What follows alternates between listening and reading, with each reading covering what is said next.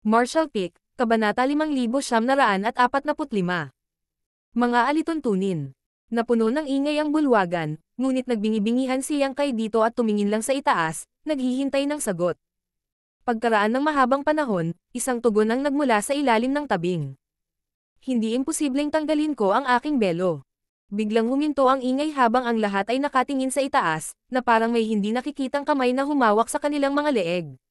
Walang sino man ang umasa na papayag ang santo sa gayong katawa-tawang kahilingan. Ngumiti si Yang Kai. Mukhang may ilang kondisyon. Natural. Tumango ang santo na parang natural lang. Dahil humiling ka sa akin, natural na kailangan kong humingi sa iyo. Seryosong sinabi ni Yang Kai. Makikinig ako. Umalangaw ang mahinang boses ng Saintes. Si Huyo ay nagpadala ng mensahe na nagsasabing ikaw ang Holy Child ng Spirit Religion at ang iyong hitsura ay kasabay ng propesya ng Spirit Religion, ngunit kung ito ay totoo o hindi ay mahirap pa ring matukoy. Ang unang saintes ay nag-iwan din ng pagsubok para sa Holy Child.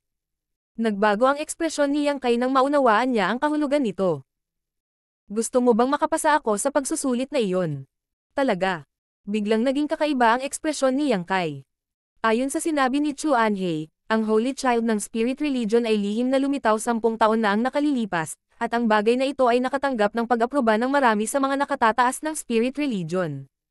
Sa madaling salita, tiyak na nakapasa sa pagsubok ang Holy Child at hindi mapag-aalinlanganan ang kanyang pagkakakilanlan.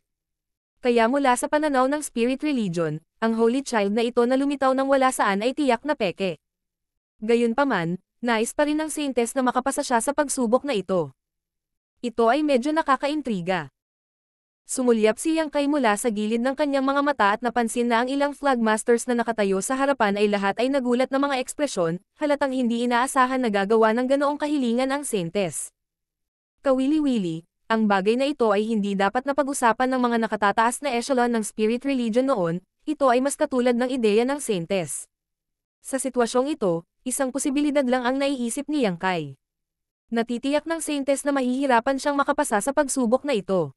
Kung hindi niya makumplito ang kanyang kahilingan, natural na hindi niya kailangang ipakita ang kanyang mukha. Sa pag-iisip na ito, sumangayon si Yang Kai. Siyempre kaya ko, magsisimula na ba tayo ngayon? Umiling ang Saintes at sinabing. Ang pagsubok ay seliado sa isang lihim na lugar. Medyo magtatagal bago mabuksan ang lihim na lugar, kaya dapat kang pumunta at magpahinga sandali. Kapag kumpleto na ang paghahanda ng Spirit Religion, tatawagan ka namin. Pagkasabi nito, lumingon siya kay Ma Chengzi at sinabing, Flagmaster Ma, guguluhin kita para ayusin ang lugar para sa kanya. Lumapit si Ma Chengzi at tinanggap ang utos. Oo, tinawag niya si Yang Kai. Munting kaibigan, sumama ka sa akin. Sinulyapan muli ni Yang Kai ang Saintes, ikinulong ang kanyang mga kamao, at umalis. Pagkaalis niya, nagtanong ang isa sa flagmaster. Kamahalan, bakit gusto mo siyang pumunta sa Silgland para subukan ang pagsubok na iyon? Paliwanag ng Saintes. Nakuha na niya ang mga puso ng mga tao at ang mga pagpapala ng mundo, kaya hindi madaling itapon siya ayon sa gusto natin, at hindi rin madaling ilantad siya. Dahil iyon ang kaso, hayaan siyang pumunta sa selyadong lupain. Ang lugar na iyon ay isang pagsubok na iniwan ng unang Saintes, at isang tunay na Holy Child lamang ang makakalampas dito. Biglang may nakaintindi. Dahil isa siyang impostor, mahihirapan siyang makapasa. Kung haharapin natin siya mamaya, magkakaroon tayo ng paliwanag para sa mga alagad. Sumagot ang Saintes. Iyan mismo ang iniisip ko. Iniisip ng mabuti ng kamahalan ang mga bagay-bagay. Sa loob ng Divine Palace, sinundan niyang kay si Ma Chengzi at biglang nagsabi. Old Ma, ako ay isang tao na hindi alam ang pinanggalingan, hindi ba dapat magtanong muna ang iyong spirit religion tungkol sa aking pinagmulan at background? Bakit bigla na lang gustong pumunta ng St. A sa Silgland na iyon? Ikaw.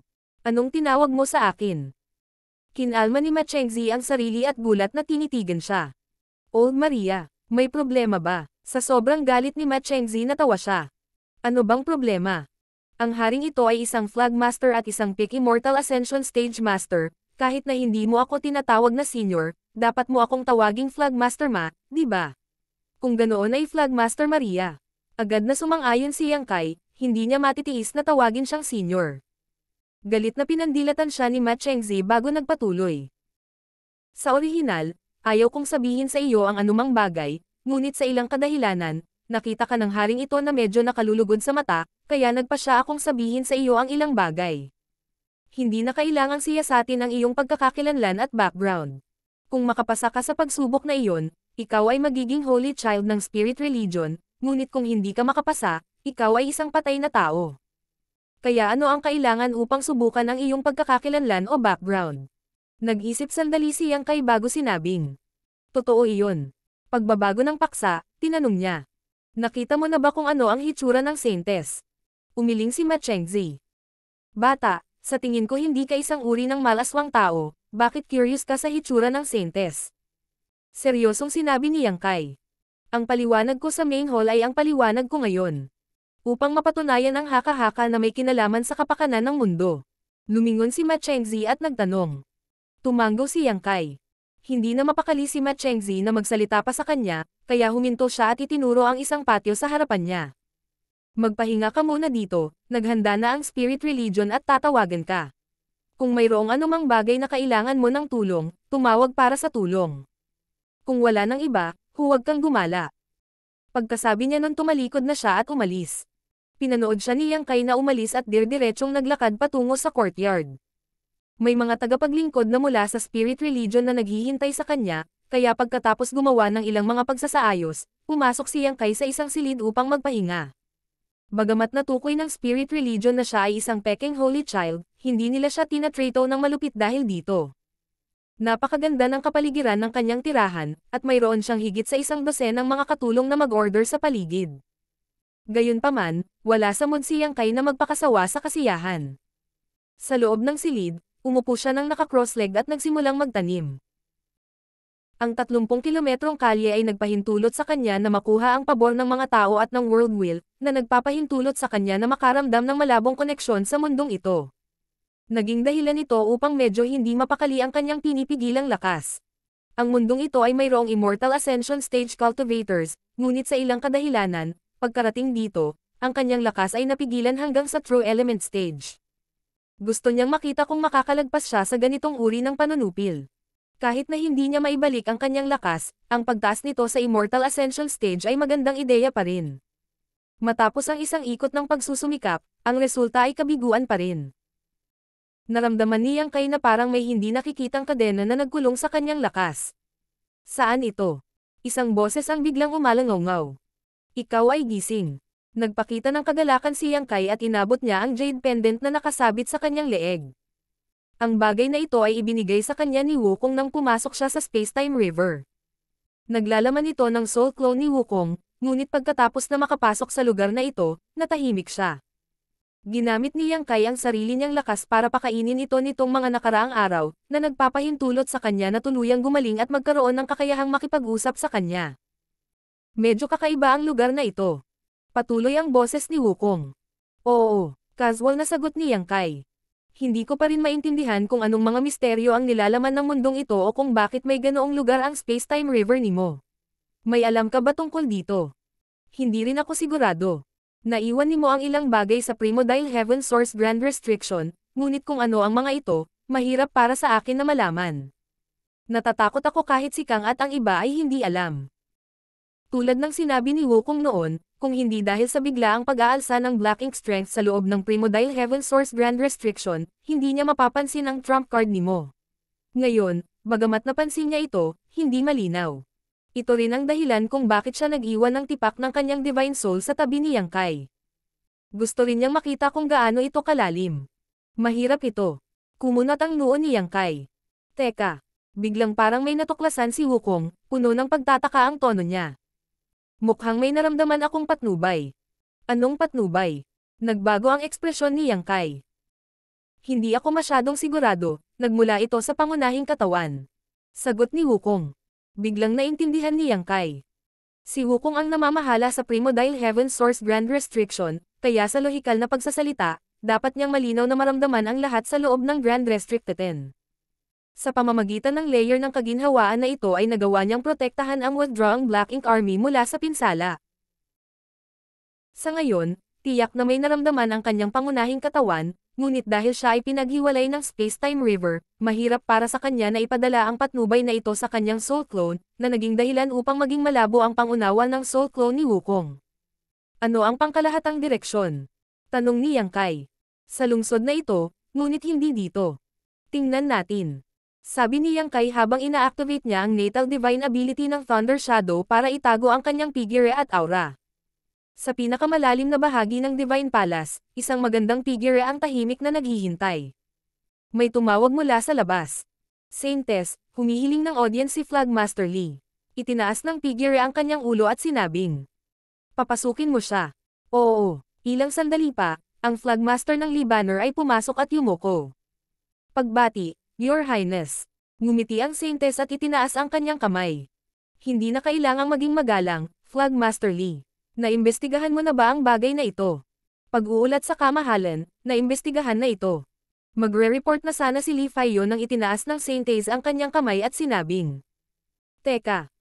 Kumuha siya ng isang piraso ng jade at ibinuhos ang kanyang kapangyarihan dito, agad na inihiwalay ang bulwagan mula sa labas ng mundo. Matapos ma-activate ang hanay ng mga espirito, biglang binago ng Saintes ang kanyang seryosong ekspresyon at hinayla ang kamay ni Li Faiyo para maupo, nakangiting sinabi niya. Si Sister Lee ay nagsumikap, ano ang nahanap mo? Mapait na ngumiti si Lee Faiyo. Sa harap ng mga tagalabas, gaano man kabait ang Saintes, imposibleng itago ang kanyang marangal na ugali. Siya lamang ang nakakaalam na sa pribado, ang Saintes ay isang ganap na kakaibang tao. Nakahanap ako ng maraming bagay. Naalala ni Lee Faiyo ang impormasyong nakuha niya at bahagyang nawalan ng pag-iisip. Matapos makapasok sa lungsod, sinamahan ni Machengzi si Yang Kai habang inakay niya si Zuo Huyo. Bilang flagmaster ng Lee Banner, responsable siya sa pangangalap ng impormasyon sa iba't ibang aspeto, kaya natural na marami siyang itatanong kay Zuo Huyo. Sa makatuwid, hindi siya lumitaw sa pangunahing bulwagan. Pakinggan natin ito. Tila interesado ang Dasentes. Sinabi ni Li Faiyo. Ayon kay Zuo Huyo, nagkataon lang na nakatagpo niya ang taong tinatawag na Yang Kai sa pagkakataong ito. Sa oras na iyon, inilantad nila ang kanilang kinaroroonan at napapaligiran ng mga tao mula sa Black Ink Religion.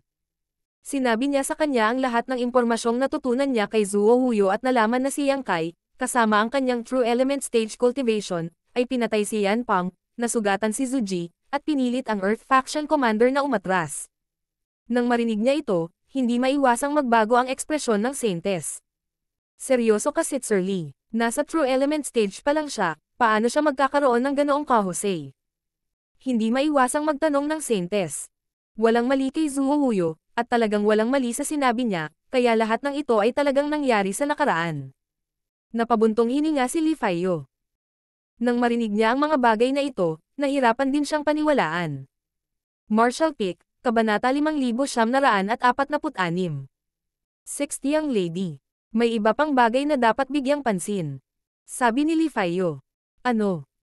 Nagpadala si Zuo Huyo ng mensahe ilang araw na ang nakakaraan na humihiling sa spirit religion na magpadala ng isang eksperto upang tulungan siya, ngunit naharang siya ng isang tao sa daan, na naging dahilan upang hindi namin alam ang bagay na ito. Hindi nagtagal, sinalakay sila ni Chuan Ye at ng isang grupo ng mga tao na pinamunuan niya sa isang maliit na bayan mga isang araw ang layo mula sa Holy City. Chuan Ye. Bahagyang ipinikit ng Saintes ang kanyang mga mata. Kung tama ang pagkakaalala ko, siya ay isang subordinate ng Kun Banner. Oo, ang kakayahang ma-intercept ang kahilingan ni Zuo Wuyu para sa tulong sa kalagitnaan ay hindi isang bagay na magagawa ng isang ordinaryong tao. Kaya ko, at kaya ko ng lahat ng Flagmasters. Sa wakas na ibunyag na ba ng matandang fox ang kanyang buntot? Malamig na bam antong hininga ang Saintes. Mukhang dahil dito napilitan si Nayang Kai at Zuo Huyo na ilabas ang balita ng Holy Child bago pumasok sa lungsod, gamit ang maluwalhating pagkakataong ito upang matiyak ang kanilang sariling kaligtasan. Siyempre, mula sa mga resulta, parang maganda ang ginawa nila. Walang ganoong mga pakana si Zuo Huyo, kaya dapat dahil sa yangkay na iyon. Hinuha ng Saintes. Narinig ko na nakuha niya ang pabor ng mga tao at ang world will sa kanyang pagpunta sa Divine Palace. Biglang tanong ni Faiyo. Bilang flagmaster ng Lee Banner, mayroon siyang kakaibang bentahe sa mga tuntunin ng pangangalap ng impormasyon, kaya kahit na hindi niya nakita ang sitwasyon sa 30 kilometrong kalye, nakakuha pa rin siya ng impormasyon mula sa kanyang mga nasasakupan. Oo, tumango ang Saintes. Ito ang pinaka hindi ka panipaniwala. Kamahalan, maaari ba itong? Hindi sumagot ang Saintes, sa halip ay tumayo at sinabing. Sister Lee, kailangan kong maglakbay sa labas ng palasyo. Nang marinig ito, nagsuot ng walang magawang ekspresyon si Li Fayo. Hinawakan ng Saintes ang kanyang kamay at sinabing. Hindi ako maglalaro sa pagkakataong ito, may gagawin akong mahalagang bagay. Kailan mo hindi sinabi yan? Pinandilatan siya ni Li Fayo ngunit sumang-ayon pa rin. Kailangan mong bumalik bago ang madaling araw. Makatiyak ka, tumango ang Saintes at kumuha ng isang bagay mula sa kanyang space ring. Isa itong manipis na maskara. Kinuha ni Li Fayo ang maskara at maingat na inilagay sa mukha ng santo, na tila pamilyar dito. Sa katunayan, hindi ito ang unang pagkakataon na ginawa nilang dalawa ito. Ilang sandali pa, nagkatitigan ang magkamukhang mukha, maging ang nunal ng kagandahan sa sulok ng kanilang mga labi ay walang pinagkaiba sa mga imahe sa salamin. Agad namang nagpalit ng damit ang dalawa. Kinuha ni Li Fayo ang puting jade scepter ng Saintes at bahagyang bomb antong hininga bago umupo.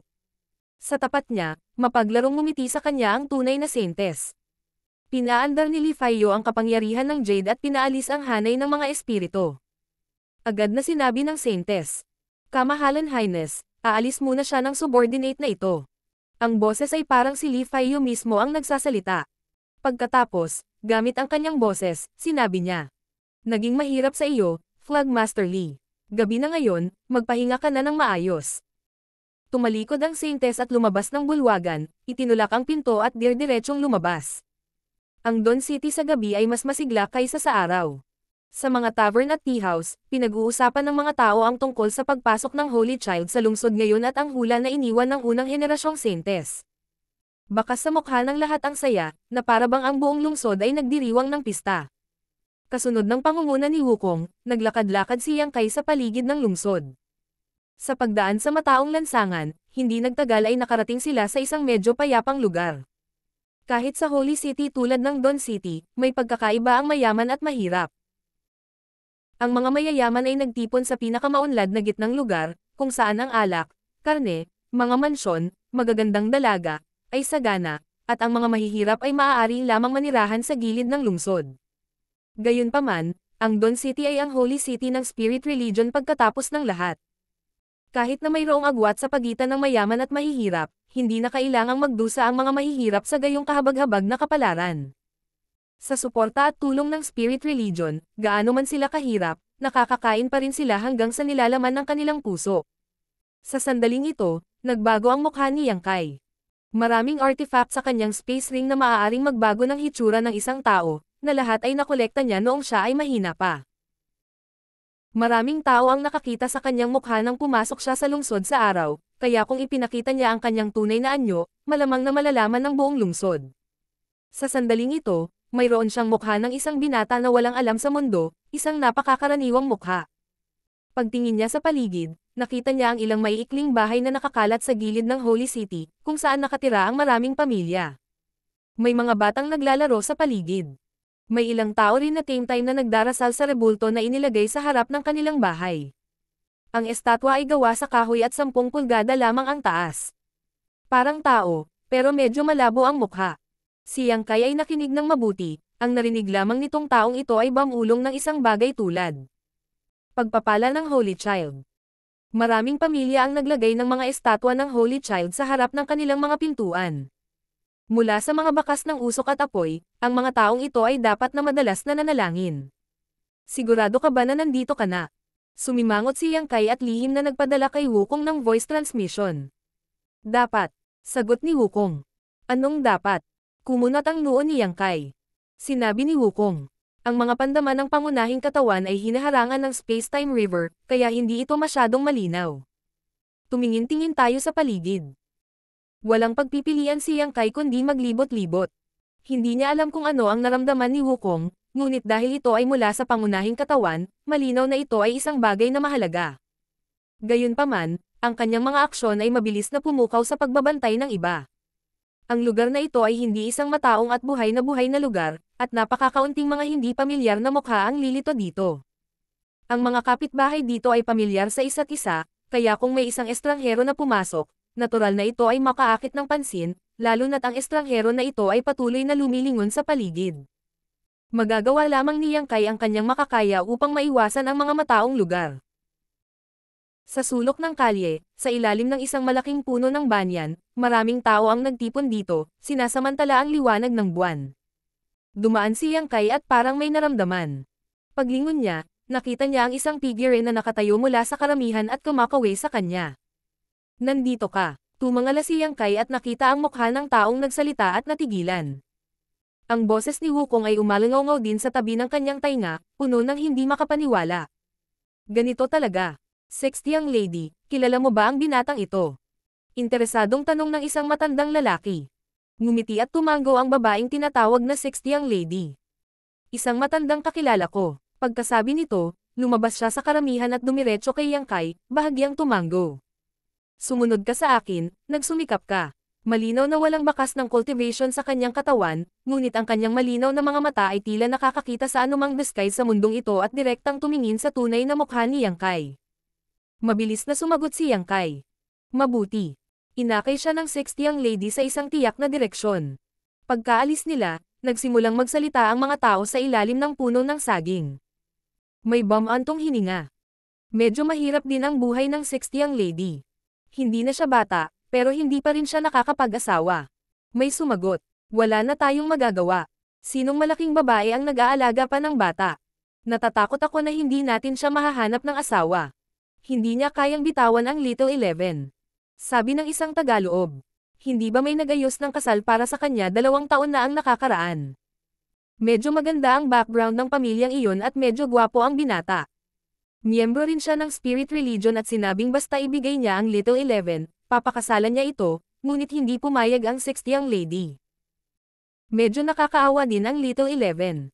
Wala siyang magulang at sinundo siya ng 60 ang lady. Kahit magkapatid ang tawag nila sa isa't isa, wala silang pinagkaiba sa mag-ina.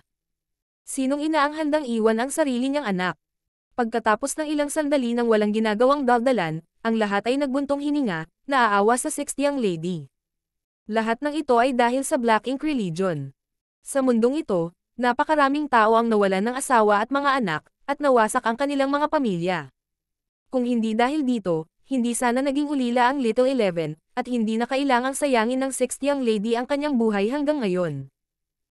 Ang Holy Child ay nagpakita na, maaga o huli ang pagdurusan na ito ay matatapos. Agad na naging sinsero ang ekspresyon ng bawat isa habang tahimik na nagdarasal. Sumunod si Yang Kai sa likod ng babaeng tinatawag na 60 ang lady at naglakad patungo sa isang malayong lokasyon, ang kanyang puso ay puno ng malalakas na alon. Hindi niya akalain na magiging ganito ang patnubay ng pangunahing katawan ni Wukong. 60 ang lady. Ang boses ni Wukong ay umalangaw sa isip ni Yang Kai. Oo, siya ay nasa ika-anim na ranggo sa sampu, hindi nakakagulat na tinawag niya ang kanyang sarili na iyon. Ano naman sayo? Nagtataka na tanong ni Yang Kai. Sinabi ni Wukong. Ako ay ako. Si Shi ay si Shi, kung kailangan ko talagang sabihin, magiging 8 na ito. Kung gayon, paano ang Little Eleven? Paano ko malalaman? Sumagot si Wukong. Ang kaluluwa ni Shi ay hindi kompleto, wala akong minana na masyadong kompleto. Bahagyang tumango si Yang Kai at hindi na nagsalita pa. Hindi nagtagal, nakarating na silang dalawa sa tapat ng isang simpleng bahay. Bagaman ito ay simple at magaspang, may isang maliit na patio na napapaligiran ng isang bakod sa harap nito. May ilang damit na nakasabit sa looban, ang iba ay pambabae at ang iba ay pambata. Itinulak ng 60 ang lady ang pinto at pumasok, si Yang Kai ay sumunod na malapit sa likuran, tumingin sa paligid. Ang loob ng bahay ay napakasimple, tulad ng isang normal na mahirap na pamilya.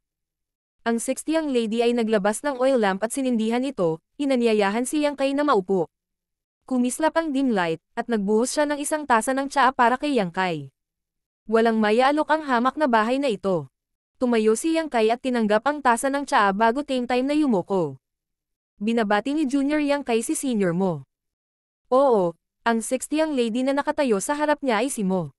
Nakilala na ni Yang Kai si Mo noon, noong unang nagsimula ang hukbo ng human race sa isang ekspedisyon sa Primodile Heaven Stores Grand Restriction. Ang labanan ay gumuho, at ang black ink ay halos nakatakas. Sa huli, ang trump card ni Mo ay na-activate na, at ang lahat ng kanyang enerhiya ay napalitan ng isang higanti, hindi malalabag na figure na yamakap sa black ink, na sa wakas ay naging sanhi ng black ink na mahimbing sa pagtulog. Sa oras na iyon, nakita ng lahat sa larangan ng digmaan ang hitsura ng maalamat na babae. Bagamat isang sulyap lang, sino ba ang makakalimot nito? Kaya nang dumating si Yang Kai dito at tinawag niya, nakilala niya agad siya. Siya si Mo, isa sa sampung martial ancestors at ang pinakamalakas.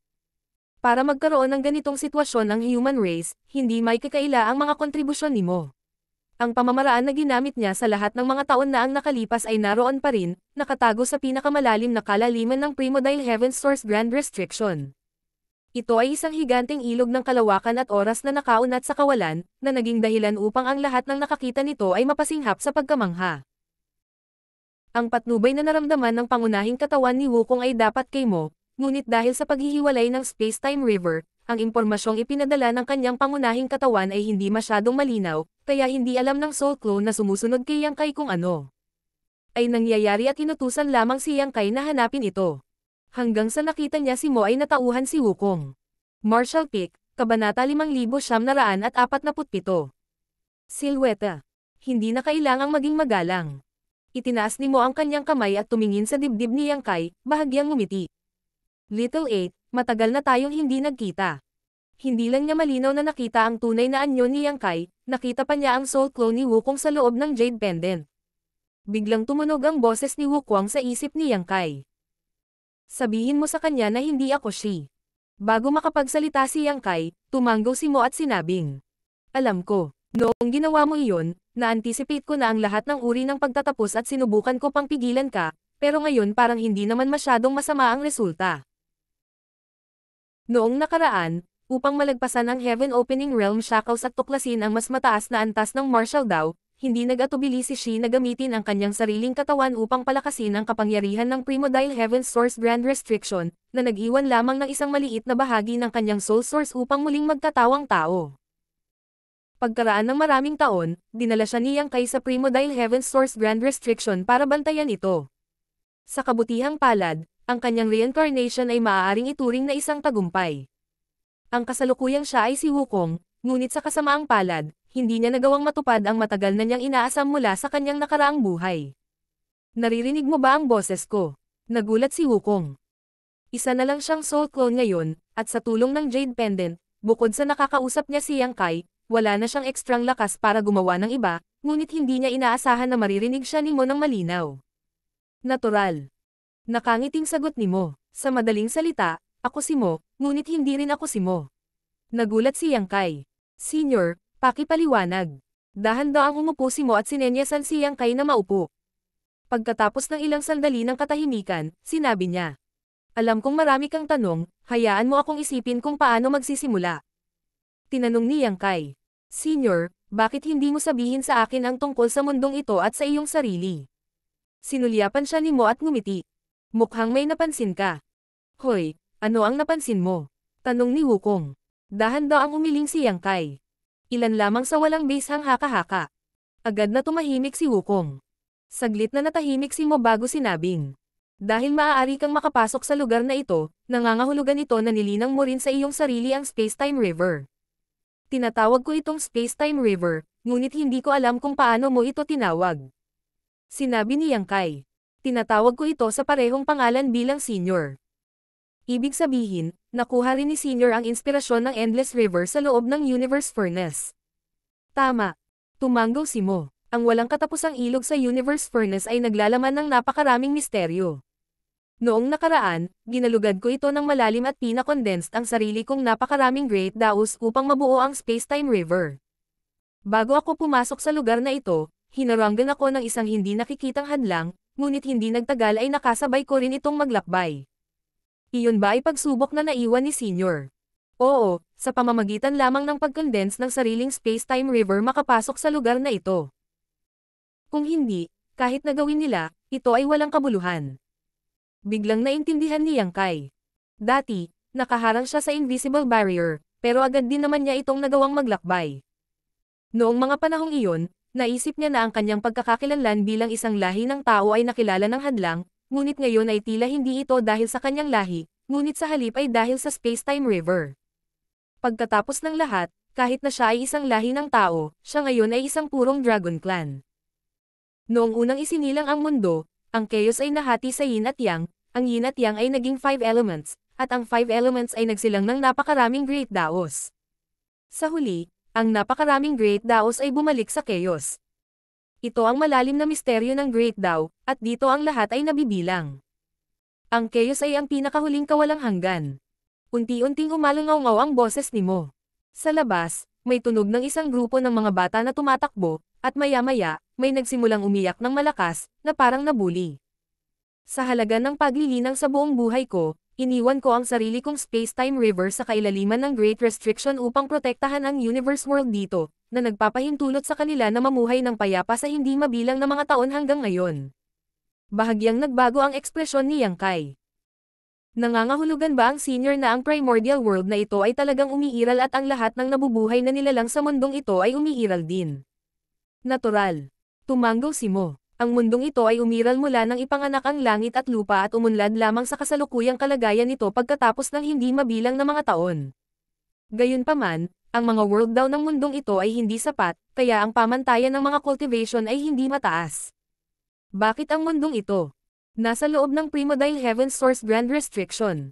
Bukod dito, ang pangalan ng mundong ito ay medyo nakakaintriga. Tanong niyang kay na nalilito.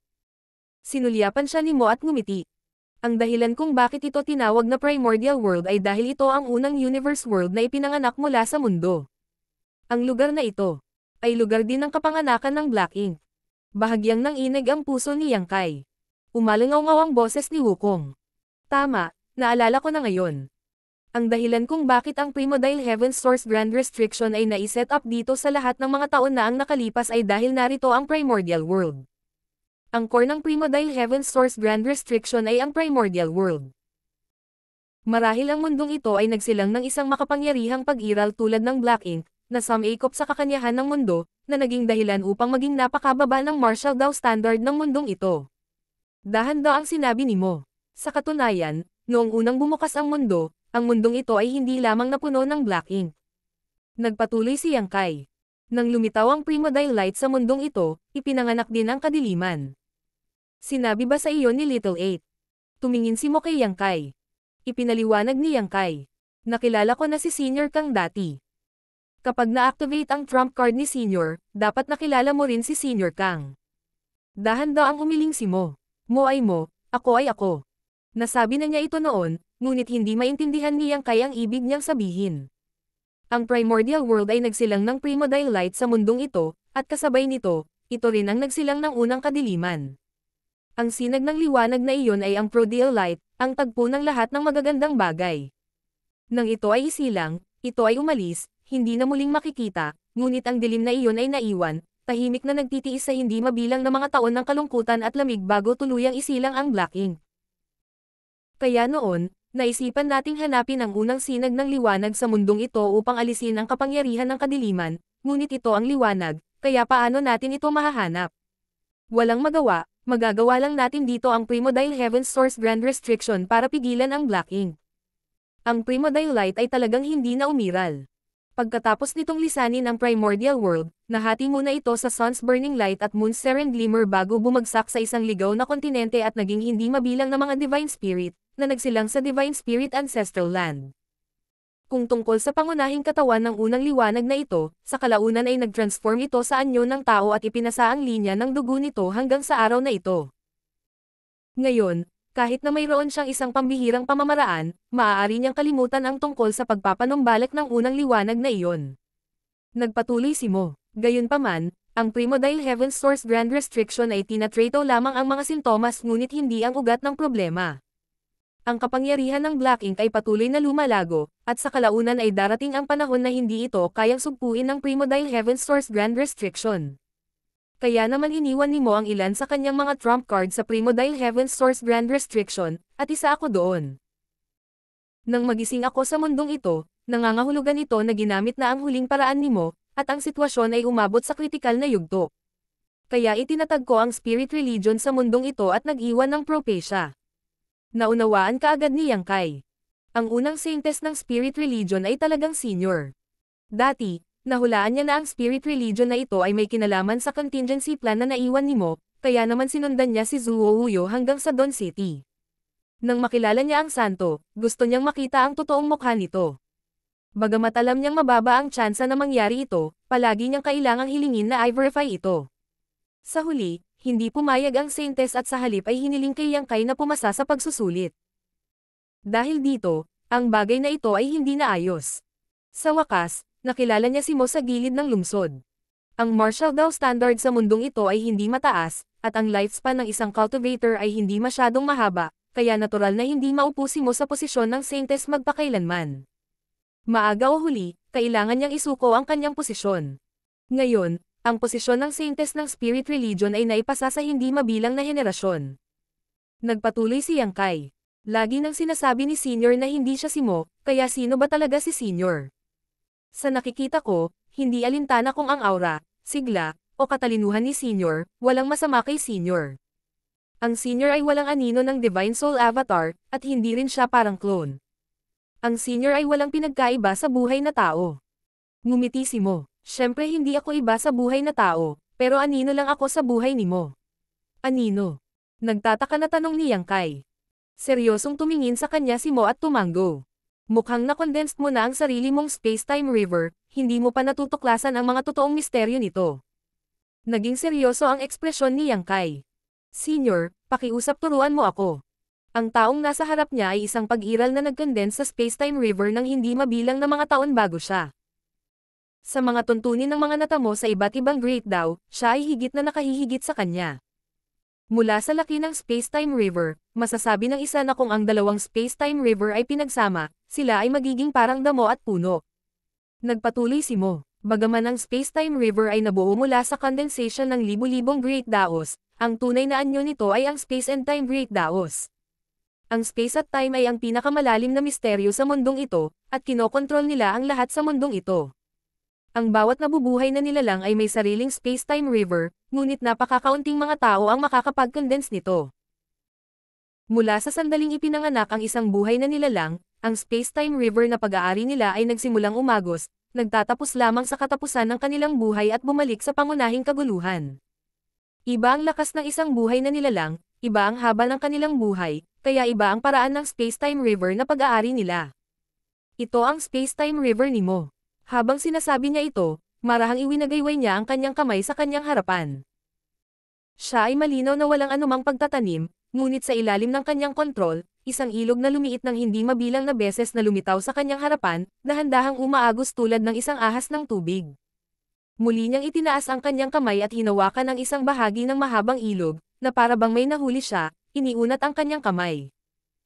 Ito ay isang tiyak na panahon sa kanyang buhay. Sa palad ng kanyang kamay, isang malabong figure ang makikita, ang figure ni Mo. Ang puso ni Yang Kai ay nanginginig habang nakatitig kay Mo na hindi makapaniwala. Ang sinabi ni Senior ngayon ay talagang ibig sabihin nito. Tumanggaw si Mo, mukhang naiintindihan mo, sa isang pagwagayway ng kanyang kamay, nawala ang anino sa kanyang kamay at ang space-time. Kaya hindi ako si Mo, anino lang ako ng buhay ni Mo. Nanatiling tahimik si Yang Kai ng mahabang panahon, na puno ng pagkabigla ang kanyang puso. Hindi ka panipaniwala, hindi maisip, hindi masasabi. Kung hindi dahil sa pagpapakita ni mo sa kanyang harapan, hindi niya akalain na dito pala nakalatag ang mga totoong misteryo ng space-time river. Bakas sa kanyang ekspresyon ang pagkagulat, ngunit ang kanyang mga mata ay puno ng pananabik habang nagtanong. Senior, ang pinakamalalim na misteryo ng ilog ay ang space at time. Ngumiti si mo at tumango. Sa iyong kakayahan, mauunawaan mo ang antas na ito sa lalong madaling panahon o huli, Ngunit, ang huling paraan ni mo ay ginamit, kaya walang oras para intindihin mo ito ng mag-isa. Marshall Pick, Kabanata 5948 Ang pag-iral ay ang orihinal na kasalanan. Ang mo sa kanyang harapan ay anino lamang ng mahabang buhay ni mo, kaya naman patuloy niyang tinawag ang kanyang sarili na mo, ngunit hindi mo. Hindi kailanman naisip ni Yang Kai na may isang tao sa mundong ito na makakagawa ng ganoong kakaibang bagay, na ganap na sumisira sa kanyang pangunawa hindi niya maiwasang mapabuntong hininga sa kanyang puso. Gaya ng inaasahan sa pinakamalakas sa sampung martial ancestors, ang kanyang cultivation at mga natamo sa Great Dao ay higit na nalampasan ang iba. Ang pagkakakilanlan ni Mo ay nilinaw, at ang mga sekreto ng primordial world ay lumitaw din sa harap ni Yang Kai. Ang lugar na ito ay ang lugar ng kapanganakan ng Black Ink at ang core ng buong Primordial Heaven's Source Grand Restriction, kaya masasabing ito ay napakahalaga. Sa lakas ni Senior, imposible bang sirain mo ang Black Ink noon? Pinigilan ni Yang Kai ang umuugong mga iniisip sa kanyang puso at nagtanong. Ang gayong makapangyarihang mo ay maaari lamang piliin na gamitin ang Primodile Heaven's Source Grand Restriction upang sugpuin ang bulk ink dito, na nag-iwan sa kanya ng labis na pagkagulat. Kung ikukumpara, gaano kalakas ang black ink? Hindi sinagot ni mo ang tanong na ito, sa halip ay tumugon. Sa totoo lang, hindi masama ang kalikasan ng black ink. Nagtatakang tanong ni Yang Kai. Ano ang ibig mong sabihin? Nagpakita ng alaala si Mo habang nagpatuloy. Dahil nakilala mo si Kang dati, dapat narinig mo siyang nagbanggit ng ilang bagay tungkol sa Black Ink. Walang masyadong sinasabi si Senior Kang noon. Alam ko lang na sampung senior ay tila nagkaroon ng ilang uri ng pakikipagkaibigan sa Black Ink noon, ngunit sa ilang kadahilanan, sila ay nahulog. Napangiti si mo. Hindi mo maaaring ilagay ito sa ganoong paraan, magkaiba lang ng posisyon. Nang ang unang sinag ng liwanag ay isinilang sa mundong ito, ipinanganak din ang kadiliman, na kalaunan ay nagsilang ng bakas ng damdamin. Iyon ay ang orihinal na Black Ink, ngunit kahit na matapos ang hindi mabilang na mga taon ng kalungkutan at lamig, ang Black Ink ay ipinanganak ng walang anumang hinanakit. Siya ay ignorante, ang kanyang pangunawa sa mundong ito ay blanco, tulad ng isang bagong silang na sanggol. Sa oras na iyon, naabot na ni Kang at ng iba pang siyam ang daw sa ilalim ng World Tree at naintindihan nila ang Heaven Opening Realm Method. Ang pagangat ng human race at ang tagumpay laban sa monster race ay nagtatag ng kaluwalhatian ng panahong iyon, ngunit sa kasamaang palad, ang hitsura ng Black Ink ay naging dahilan upang lumitaw ang kaluwalhasyang ito ng saglit. Ang likas na katangian ng mga nabubuhay na nilalang ay pagkamausisa. Ang Black Ink ay may sariling kamalayan at gustong tuklasin ang lahat ng bagay na hindi alam. Bumaba siya sa isang tiyak na universe world, at hindi nagtagal, naging kanya ang mapayapang mundo. Ang Black Ink Strength ay may hindi mapaglabanan na mapaminsalang epekto sa anumang buhay na nilalang, at ang Black Ink ay hindi kayang pigilan ang kanyang sariling kapangyarihan. Ni hindi niya namalaya na kailangan niyang pigilan ang sariling kapangyarihan. Nang ang lahat ng nabubuhay na nilalang sa mundong ito ay yumukod sa kanya, ang kanyang puso, na naging malungkot sa hindi mabilang na mga taon, ay lubos na nasiyahan. Ito ay isang napakasamang simula, kaya nagsimula siyang ipalaganap ang kanyang lakas sa mga universe world tulad ng isang makulat na bata na nagpapakita ng kanyang mga kakayahan, na nakakakuha ng higit na atensyon. Tapos nakilala niya kami. Ang sampu sa amin, pagkatapos ng lahat, ay may malalim na pagtatanim at nakamit ang daw sa ilalim ng World Tree, kaya nagkaroon kami ng natural na pagtutol sa Black Ink Strength. Dahil dito ay mas naging interesado at interesado sa amin ang Black Ink, at mula noon ay nag-cross ang aming mga landas. Bagaman napansin namin ang kanyang tunay na pagkatao, ang kanyang lakas ay nakatadhana na hindi katanggap-tanggap sa mundo, kaya sa huli ay nagpa siya kaming salakayin siya. Gayunpaman, sa oras na iyon, ang lakas ng Black Ink ay tumaas ng husto kumpara noong siya ay unang ipinanganak. Kahit na magsanib puwersa kaming sampu, mahirap para sa amin naganap na wasakin siya, kaya maaari lamang naming piliin na likhain ang Primodile Heaven's Source Grand Restriction para silyuhan siya. Napansin ng Black Ink ang aming mga intensyon at sa huling sandali ay inutusan ang lahat ng Black Ink disciples na mag-counterattack, sa huli ay nagresulta sa gulo na ito na tumagal ng isang milyong taon. Kahit ngayon, hindi pa nalilinis ang kalat na ito. Matapos marinig ang mga salita ni Mo, si Yang Kai ay nanatiling tahimik ng mahabang panahon. Kaya, ang pakikibaka sa pagitan ng human race at Black Ink clan na nangyayari mula noong sinaunang panahon ay talagang isang komedya na dulot ng isang maliit na brat. Ang komedya na ito ay tumagal ng isang milyong taon at hindi mabilang na sangkatauhan ang namatay dahil dito. Gaano kabalinto na iyon? Ang kanyang pag-iral ay ang pinakamalaking kasalanan. Napabuntong hininga siyang kay pagkaraan ng mahabang panahon. Bagaman medyo malupit na sabihin, ito ang katotohanan. Pagsang-ayon ni mo, kakasabi mo lang na tumaas ang lakas ng Black Ink, marunong ba siyang mag-cultivate? Tanong muli ni Yang Kai. Umiling si Mo. Siya ay isang pag-iral na ipinanganak mula sa mundo at hindi nangangailangan ng anumang pamamaraan ng paglilinang. Ang kadiliman ng lahat ng nabubuhay na bagay ang pinagmumulan ng kanyang lakas, kaya pagkatapos niyang magkaroon ng sentido at umalis sa primordial world, ginamit niya ang kanyang sariling lakas upang sakupin ang isang malaking bilang ng universe world, na nagpapahintulot sa kanyang lakas na tumaas ng husto. Nagulat si Yang Kai. Ang kadiliman ng lahat ng nabubuhay na bagay. Anumang uri ng pakana, pagtataksil, pagkauhaw sa dugo, kalupitan, masamang hangarin, sama ng loob, pagpatay. Anumang bagay na maaaring pumukaw sa madilim na kaisipan ng lahat ng nabubuhay na nilalang ay makapagpapalakas ng kanyang lakas. Anong klaseng loika yan? Nagtataka na tanong ni Yang Kai. Walang loika dito. Mataimtim na sinabi ni Mo. Katulad ng kung paano umalis ang liwanag na iyon pagkatapos itong ipanganak, na naiwan lamang ang kadiliman upang tiisin ang kalungkutan at lamig. Ang lahat ng may buhay na nilalang na tulad ng liwanag ay hinahamak ang kadiliman sa ilalim nito, ngunit ang dahilan kung bakit ipinanganak ang kadiliman ay dahil sa liwanag, kaya natural na maaaring makuha ng kadiliman ang kadiliman ng lahat ng nabubuhay na nilalang at lumago. Agad na naramdaman ni Yang Kai ang pananakit ng ulo, ngunit nang may sasabihin sana siya, bigla niyang napagtanto. Ang primordial world ay ang core ng primordial heaven's source grand restriction, kaya ang kadiliman ng mundong ito. Tumanggaw si Mo, katulad ng iniisip mo, kahit na nabuklad, ang kapangyarihan ng Black Ink ay patuloy na lumalaki, kaya ang first heaven seal ay tuluyang masisira. Sa katunayan, kung hindi dahil sa backup na plano ni Mo, ang primordial heaven's source grand restriction ay nasira na. Huminga ng malalim si Yang Kai at sinabi. Kaya kung gusto nating harapin ang Black Ink, hindi tayo maaaring magantala, mabilis lang nating tapusin ang labanang ito. Ang boses ni Wukong ay umalangaw Gayunpaman, ang ganitong uri ng bagay ay napakahirap. Kahit na ang sampung martial ancestors ay nabigo na maisakatuparan ito noong sila ay nabubuhay pa, ngunit may iba pa kayang makamit ito. Ang human race ay nakipaglaban sa napakaraming taon at sa wakas ay inalis ang mga nakatagong panganib ng 3,000 mundo, na muling nagsimula sa isang ekspedisyon sa Primodile Heaven's Source Grand Restriction. Kung muli silang matatalo, hindi na sila makakabawi. Tumangala siyang kay Keimo at same time na nagtanong. Ano nga ba ang huling paraan ni Senior? Pakipaliwanag. Tiyak na hindi ito kasing simple ng pagpapatulog sa Black Ink, kung hindi, hindi sana iniwan ni mo ang sarili niyang space-time river, at hindi rin niya iiwan ang anino na ito para pamunuan siya at si Wukong dito. Siguradong may ibang plano si Mo. Marahil ito ang pag-asa at pagkakataon ng sangkatauhan. Sinabi rin niya na kapag nagising siya sa mundong ito, ang ibig sabihin nito ay na-activate na ang trump card ni Mo at ang sitwasyon ay umabot sa kritikal na yugto. Oo nga, ibinuka ni Mo ang kanyang bibig at sinabing. Noong nakaraan, sampung tao ang lumikha ng Primodile Heaven Source Grand Restriction at naglagay ng black ink dito.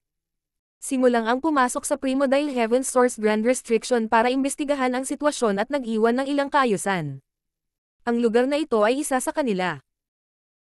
Ang kapangyarihan ng Black Ink ay talagang mahirap na ganap na alisin, ngunit ang pagkakaroon ng Primodile Heaven's Source Grand Restriction ay nagpapatunay na maaari siyang masil, kaya nang ma-activate ang kanyang trump card, sinamantala ni mo ang pagkakatulog ni Black Ink at hinati ang kanyang source sa 3,000 bahagi, tinatakan ito sa 3,000 universe. Isa ito sa kanila, at ang lugar din kung saan nagsimula ang selyo ang kailangan mong gawin ay pumunta sa lugar kung saan seliado ang source ng Black Ink. May isang profound gate doon, ang lugar kung saan unang ipinanganak si Blackle Ink.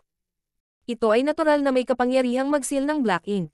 Pinuhin ang gate na iyon at seal ang Black Ink source, at ang problema sa Black Ink sa mundong ito ay maaaring alisin. Kasabay nito, maaari nitong pahinain ang kapangyarihan ng Black Ink. Itong mundo. May lubos na nalalaman si Yang Kai. Tulad ng sinabi ko, nang sinamantala ni mo ang mahimbing na pagtulog ng Black Ink, hinati niya ang kanyang source energy sa 3,000 bahagi at tinatakan ang mga ito sa 3,000 iba't ibang universe world. Tulad ng para sa mga universe world, lahat sila ay nasa aking space-time river. Kung nasil mo ang lahat ng kanyang pinagmulan, ang Black Ink ay tuluyang matutulog ng mahimbing. Kaya ganyan yan. Napabulala si Yang Kai. Napakarami lang nila. Napabuntong hininga si Mo. Kung hindi dahil doon, hindi magiging sapat ang world strength para sugpuin ito. Higit pa rito, napakahusay na itinago ng Black Ink ang Profound Gate. Noong nabubuhay pa kaming sampu, hindi namin ito napansin hanggang sa pumasok si Mo sa Primodile Heaven Source Grand Restriction sa huling sandali at nakahanap ng ilang pahiwatig. Gamit ito bilang pundasyon, iniwan niya ang lahat ng uri ng kaayusan. Medyo nagmamadali. Ipinagpatuloy niya. Kaya sa sandaling magsimula ka, dapat kang kumilos ng mabilis, dahil sa tuwing tatatakan mo ang isang bahagi ng kanyang source, babalaan mo ang black ink. Sa mas maraming beses mong gawin ito, mas madali para sa kanya na magising. Kapag nagising siya, babawiin niya ang lahat ng kanyang source.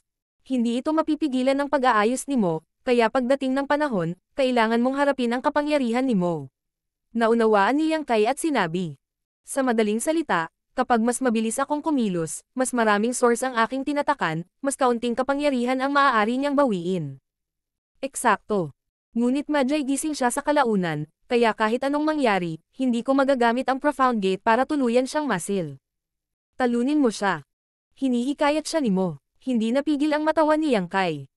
Kahit na tinatakan niya ang marami sa source ng Black Ink at lubos na pinahina ang lakas ng Black Ink, iyon ay Black Ink pa rin, hindi banggitin ang katotohanan na nasa ilalim pa rin niya ang hukbo ng Black Ink sa ilalim ng kanyang utos. Ang pagtalo sa kanya ay mas madaling sabihin kaysa gawin. Ngunit anuman ang mangyari, may malinaw na direksyon. Ito ay isang magandang simula.